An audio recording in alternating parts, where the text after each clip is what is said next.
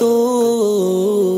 एक हॉलैंड से सवाल था इनका कि हसूल औलाद के लिए सीमन वगैरह टेस्ट कराया जाता है तो ऐसे में मुश्तजनी के ज़रिए से जो है मनी निकाली जाती है तो इलाज के लिए इस तरह से मनी निकालना ये दुरुस्त है या नहीं, इसकी इजाज़त है या नहीं।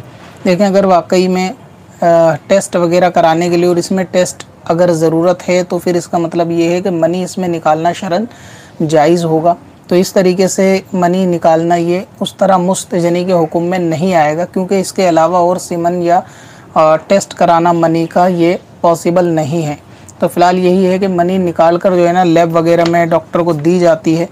हाथों हाथ तो ऐसी सूरत में ही उसके टेस्ट करके उसका जो है ना रिज़ल्ट आया जाता है और उसके बाद ही कोई दूसरा इलाज वगैरह की तरकीब बन सकती है।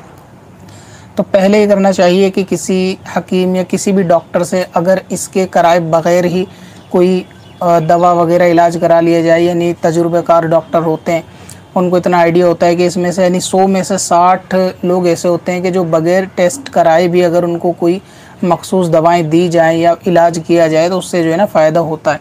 यानी डॉक्टरों को इतना तजुर्बा होता है कि अगर टेस्ट में ये चीज़ आएगी तो ये दवा देनी है या ये ये किस्म की चीज़ें दो तीन आ सकती हैं तो इसके हिसाब से वो उनके पास जो है ना दवाई मौजूद है। तो अगर ऐसा है कि कोई दवा वगैरह लेकर बग़ैर टेस्ट कराए मामला हल हो सकता है तो पहले ऐसा कर लें।